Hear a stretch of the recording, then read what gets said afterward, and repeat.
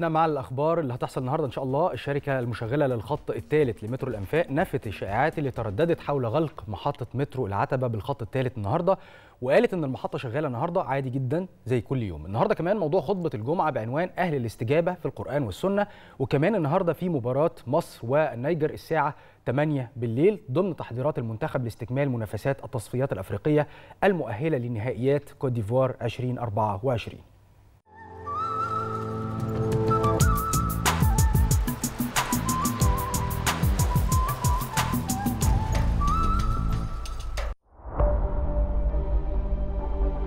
بالنسبة للأخبار المهمة اللي هتحصل النهاردة فالشركة المشغلة للخط الثالث لمترو الأنفاق نفت الشائعات اللي ترددت حول غلق محطة مترو العتبة بالخط الثالث النهاردة وقالت إن المحطة شغالة النهاردة عادي زي كل يوم النهارده هيكون موضوع خطبة الجمعة تحت عنوان أهل الاستجابة في القرآن والسنة. وزارة الأوقاف شددت على الأئمة ضرورة الالتزام بموضوع الخطبة نصا أو مضمونا على أقل تقدير، وإن وقت الخطبة ما يزيدش عن عشر دقايق. النهارده هو أول يوم في فصل الخريف وفقا للحسابات الفلكية وهيستمر لمدة 89 يوم و20 ساعة و44 دقيقة.